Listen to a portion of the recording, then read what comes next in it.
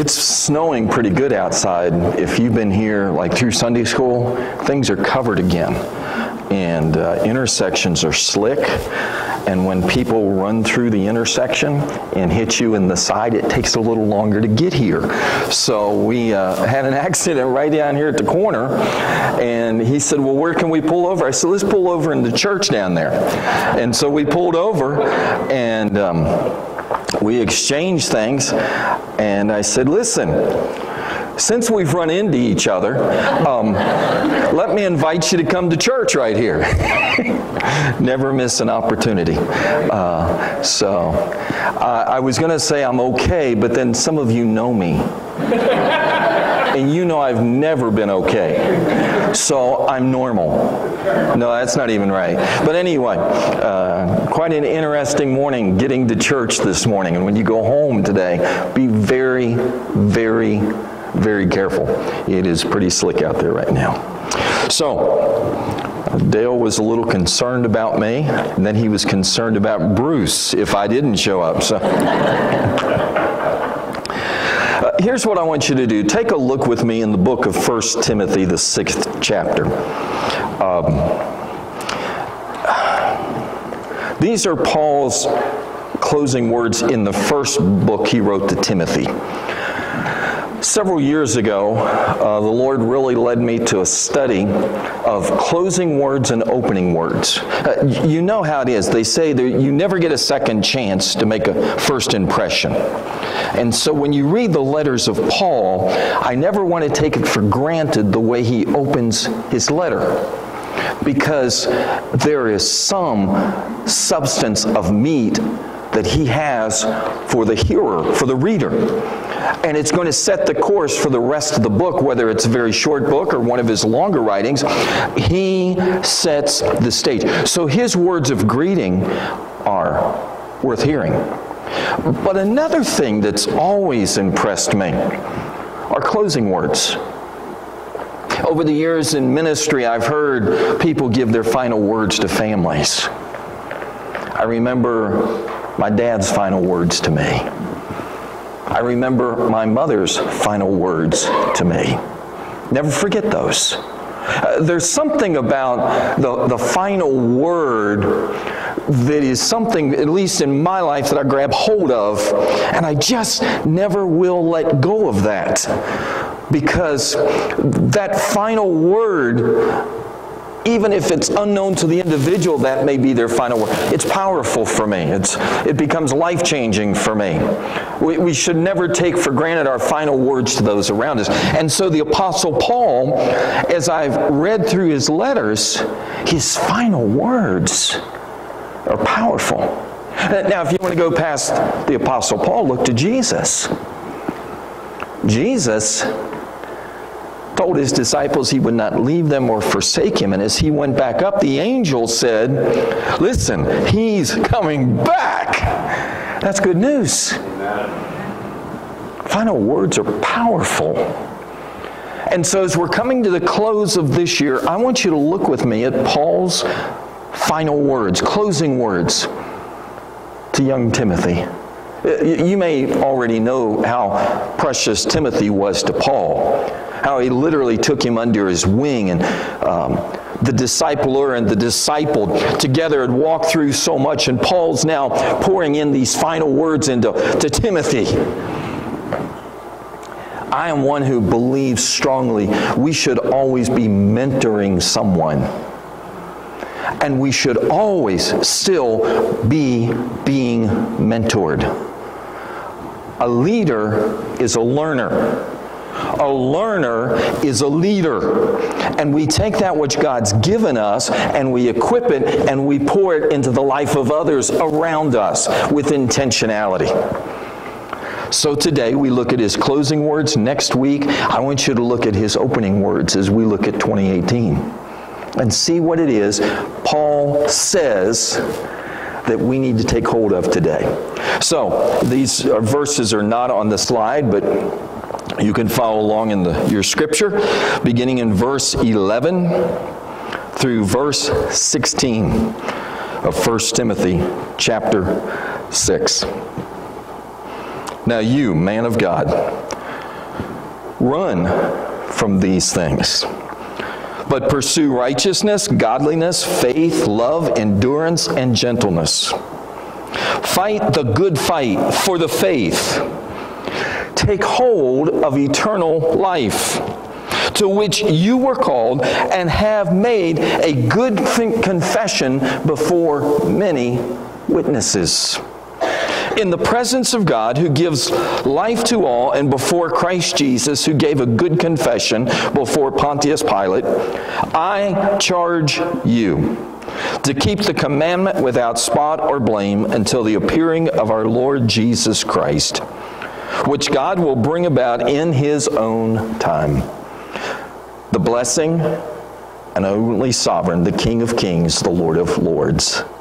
Finally, verse 16 the only one who has immortality, dwelling in an unapproachable light, whom none of mankind has seen or can see, to whom be honor and eternal might. Amen. Now, here's what I want you to think about with me as we come to the close of this year. There's a lot of things that have happened this past year.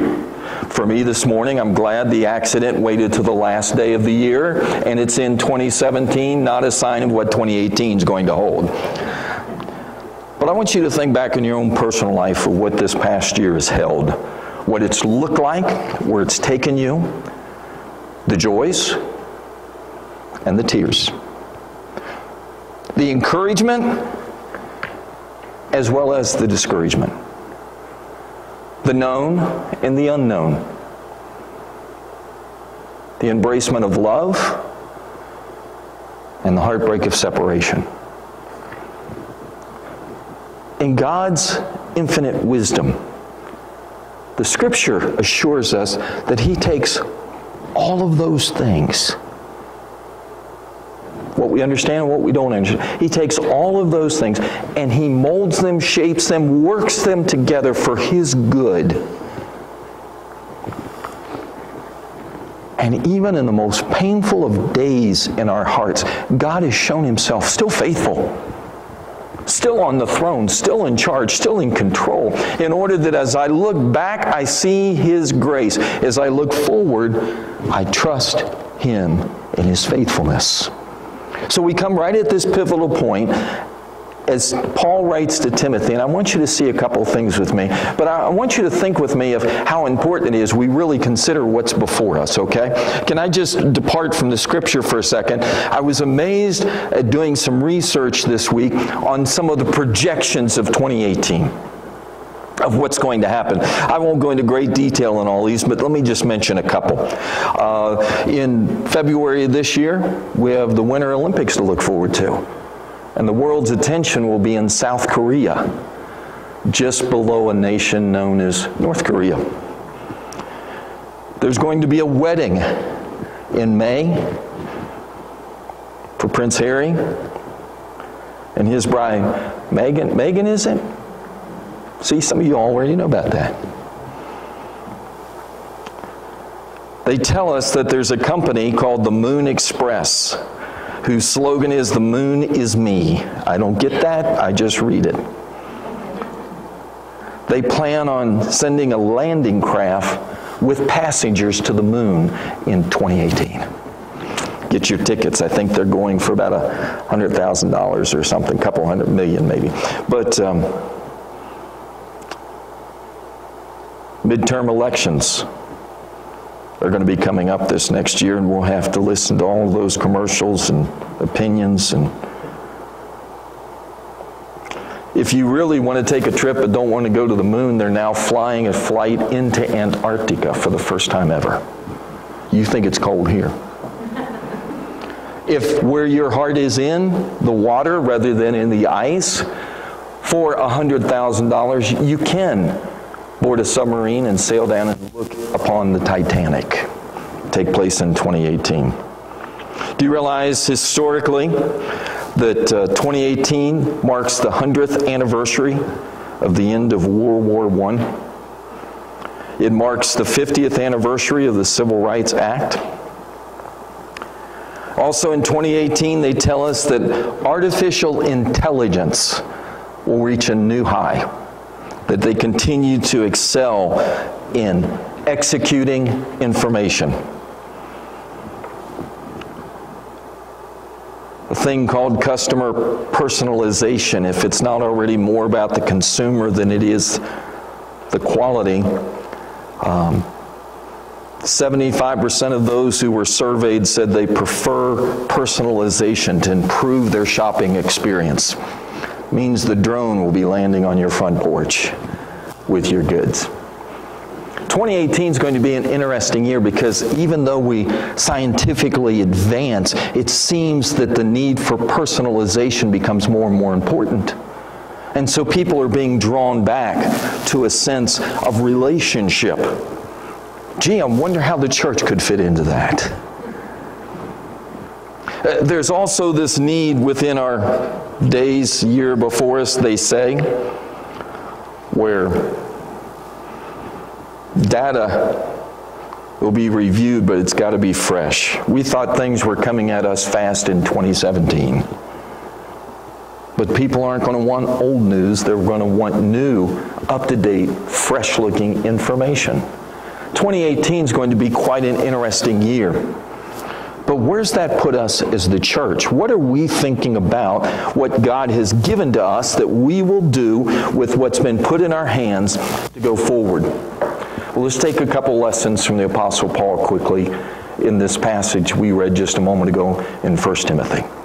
In the sixth chapter, Paul writes to Timothy and he says, I want you to understand that as you come to this time of transition, Back in verse 2, we didn't read back in verse 2, but he says, I want you to teach and encourage these things. Teach the things that I've given to you that you might have them deep within your heart. As I said before, you can't lead if you're not learning. God puts things in your life. He's taken you on a life journey for a purpose in order that the things you learn you might give over to others so that you might equip and help others to walk in their faith that no matter what 2018 might bring for all of us, who knows, Jesus may come back. And we want to be ready, and we want to encourage others to be ready for such a time as that, that they might know Him. So Paul says to Timothy, first and foremost, you teach. Don't see yourself as just an absorber. See yourself as one who gives that which He's given to you to others around you, in order that they might know the hope that is in your heart can be their hope as well. So he says, teach. But look at these things he encourages us as we teach. Down in verse 11, first thing he says on that next slide, first thing he says to us is to flee. Down in verse 11, he says, Now you run from these things. One of the things I hope happens in 2018 that discouraged my heart in 2017, we'll flee from stuff. Uh, by that I mean, we just kind of do the old Doris Day, que sera, sera, whatever will be, will be. And, and we're not that different from the world. We don't look that distinct to stand out from the world. We just kind of embrace everything and pat each other on the back. And, and I really think for many, we see God not as a just God, but as a God who kind of puts things in the scales. And maybe it tips against us, but God goes, oh, don't worry. I wasn't really serious about that. You're okay. There's nothing wrong with what you're doing. My goodness, everybody messes up. That's why we need a Savior who calls us to be different in the world, to be a holy and righteous people that walk in the light as He is in the light, and others might see in their darkness the hope that is found only in Him. How do you do that? When you flee from some things. One of my concerns in 2017 is too often in the church we're too comfortable with the surroundings that we're not supposed to be comfortable with. You maybe have heard the story of the eagle. When the baby eagle is in the nest, mama's there and the nest is warm. And the nest is comfortable. But do you know what mom starts doing as that eaglet starts to grow?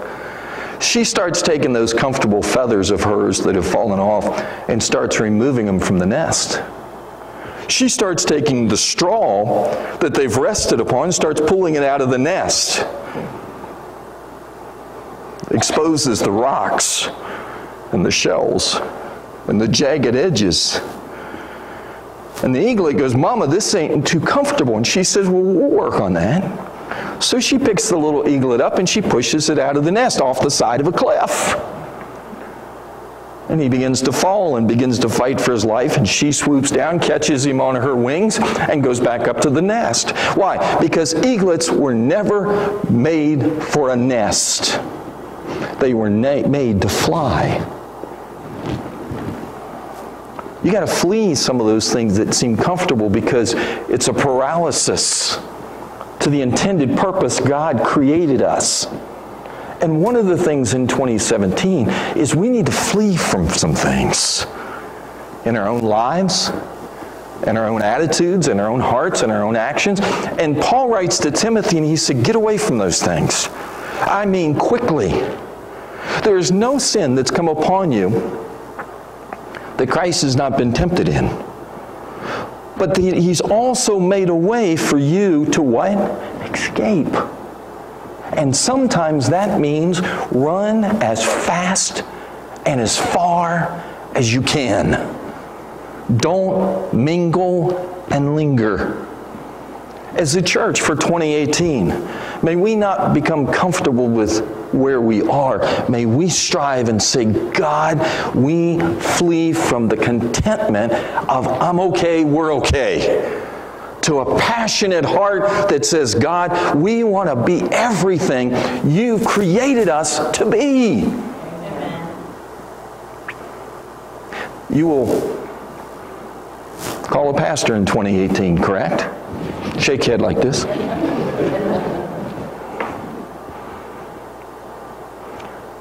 I want to rejoice in 2018 to hear what great things God, God is doing right here through this body of believers in 2018 as you grow and walk in Him.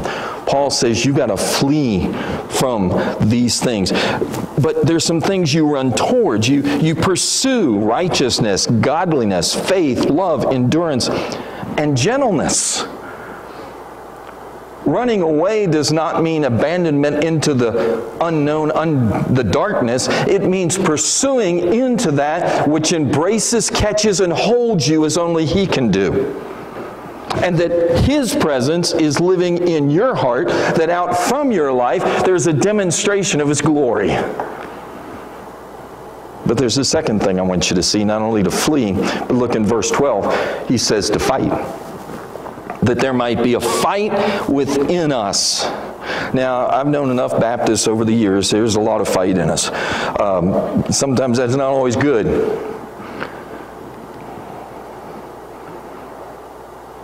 That's not the kind of fight he's talking about. Let me, let me put it this way Are there not some things that you would fight to the death for? Because it means more to you than your life itself. One of the best examples I can picture of this is a mother for their child. A mother will die for the life of their child. As a father, I, I will die to defend my family. Uh, there's some things I'll die for. Now, if there's a piece of dark chocolate laying up here on the communion table and I want it, I might try to get it, but I'm not going to fight you for it. It's just not big of a, that big of a deal. You know what I'm saying? But every one of us ought to have something that we'll fight for. Here's the way I've always thought it. Until you have something worth dying for, you really have nothing worth living for. There had better be something so deep down in your fiber that that is what drives you to live. Do you know the Apostle Paul, why he went through what he went through? Because he believed the gospel was worth fighting for. You, you read some of the other books of his writings, and you hear about those that turned against him or went the other way or whatever, you know what? It grieved his heart. But it didn't mean he compromised and said, oh, it's just a piece of dark chocolate. It's not that big a deal. It'll all be okay. That's not what he said. You need to, as you think about a year ahead, not only determine what you'll flee from, but what is it this year you'd, you'd fight for? I mean, to the end. You say, well, when it comes up, I'll think about it. No, you won't. It'd be too late then. You got to give it some thought ahead of time. A friend of mine pulled this quote out, and I thought, boy, that's good. Kind of fits in here. You're holding a cup of coffee when someone comes along and bumps into you and shakes your arm, makes you spill your coffee everywhere. Why did you spill the coffee? Is the question. Well, because someone bumped into me, of course. Wrong answer. You spilled the coffee because there was coffee in your cup. Had there been tea in your cup, you'd have spilled tea. Whatever is, listen to this, whatever is inside the cup is what will spill out. Therefore, when life comes along and shakes you, and it will, whatever is inside of you will come out. It's easy to fake it until you get rattled. So you have to ask yourself, what's in my cup? When life gets tough, tough and spills over, should joy, gratefulness, peace, and humility be present?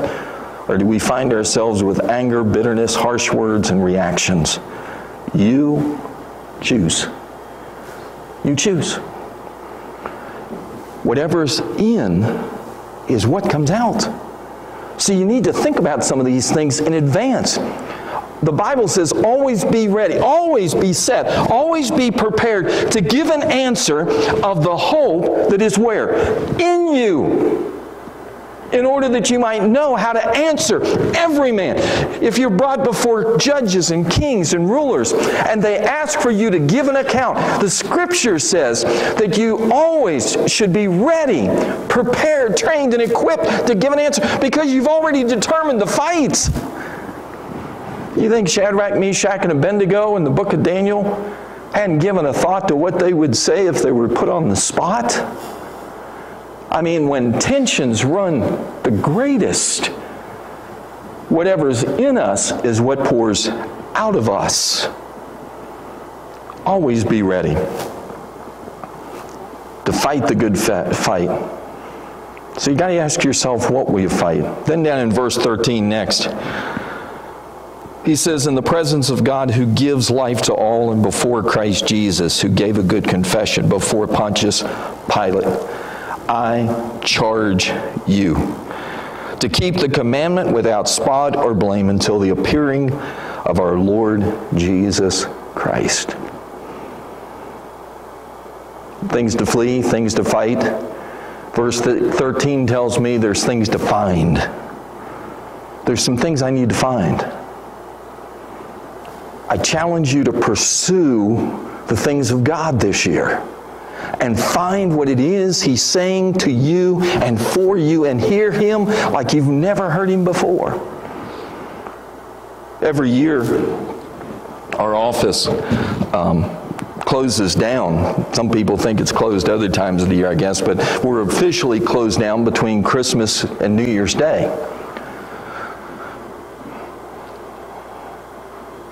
Few years back, one of the things I like to do during that time is allow the Lord just kind of lead me in a direction of something to read or study or some topic or whatever. Just a few years back, He led me over to First Chronicles. Boy, that's a yawner. I mean, there are times you read the Chronicles in order to fall asleep.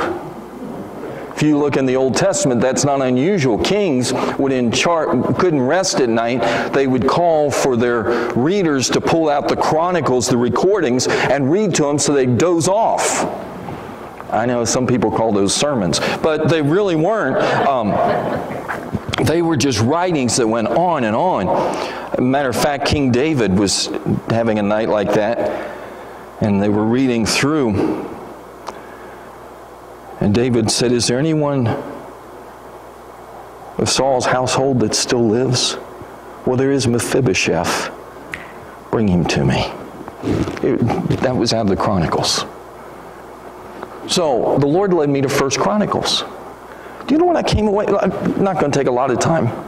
Um, you know what the Lord led me to in First Chronicles? Don't take this wrong, but this is the most men's man's book I've ever read in the whole Bible. I, I never comprehended what God says to a man out of First Chronicles. Now I know ladies can get some things out there, but I'm telling you, God took me on a journey through First Chronicles that week that I'm still not over. Powerful. Want you to find what God has to say to you this year that's powerful. And I want you to pursue it with a passion. And I want you to hear Him completely for what He has to say to you personally.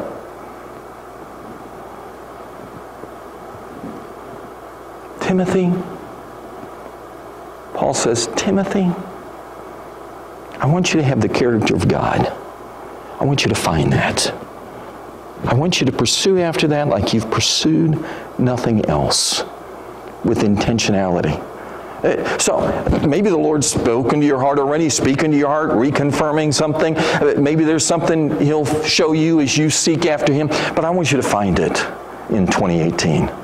Because the world's going to go on. And the world's going to continue to spin. But oh, that you might have a heart for Him. Find him. And then next in our list, I want you to see that which is faithful. On the next slide. Then he's faithful.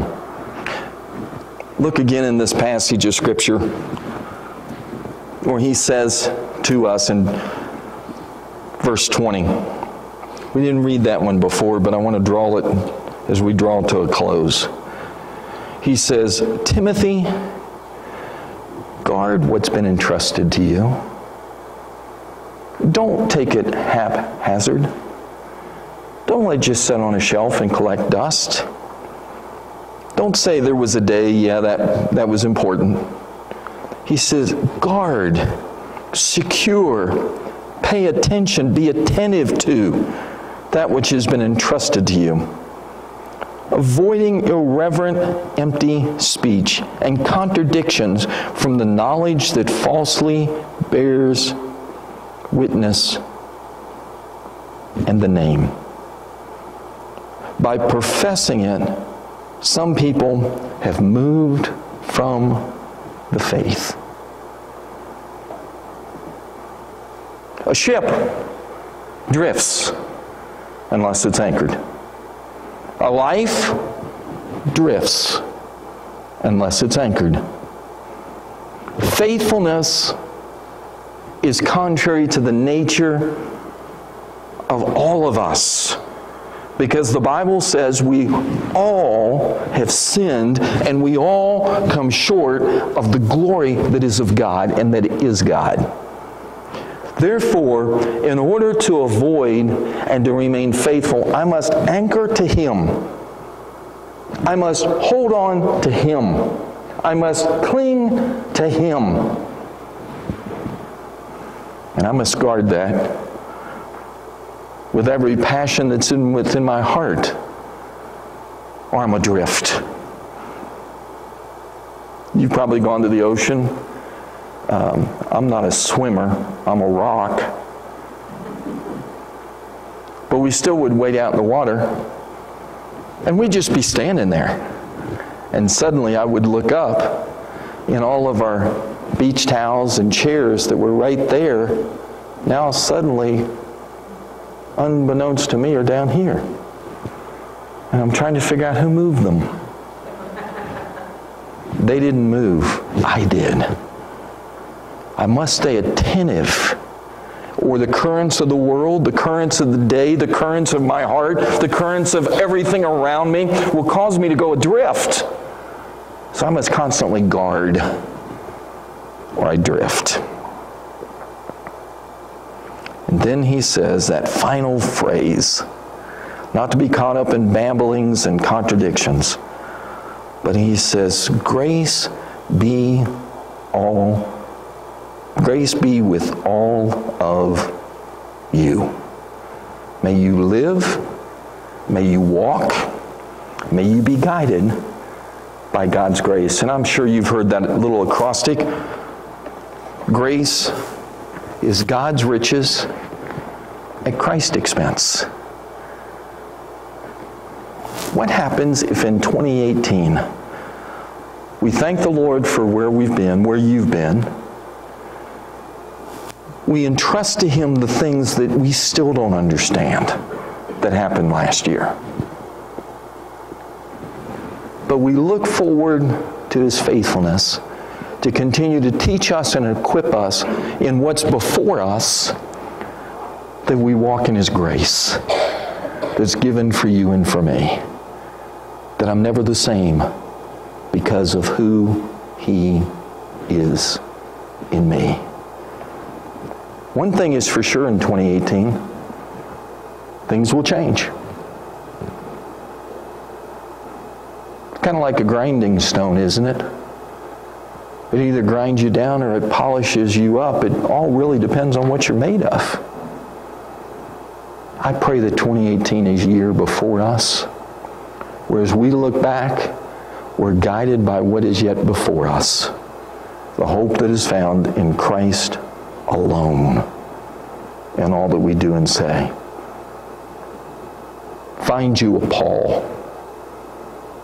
Find you a Timothy and equip them with the confidence of the gospel that it is our only hope in all that we do. Let's pray. Gracious God, thank you for a time in your word. Thank you for this day. Thank you for loving us as you do, being with us as you are, being before us as you ever will be. May our confidence and our hope be in you alone. As you speak to our hearts, may we just be obedient. Nothing more, nothing less, and nothing else. Guide us through today. Teach us to pray for those around us. I pray you will be with the gentleman that I met this morning and draw his heart to you. I pray you'll ever keep me mindful of my neighbors and their life happenings, but also the hope that you have to give to them. I pray that you'll be with this congregation. May we ever be mindful that we ask your kingdom come, your will be done on earth as it is in heaven. And may that be true for this congregation as they march boldly into the year ahead. Thank you that your grace is always sufficient, I pray. So as you speak right now, the evidence we hear you and have heard you will be changed lives. In Jesus' name we pray. Amen. Bruce will come and lead us in an invitation hymn. And I'll be here at the front if you would like to pray, seal the deal, nail, nail something down that God's spoken to your heart about. But this is an invitation, it's an invite to respond to what God is saying and has said to you in our time together. Let's stand together and sing.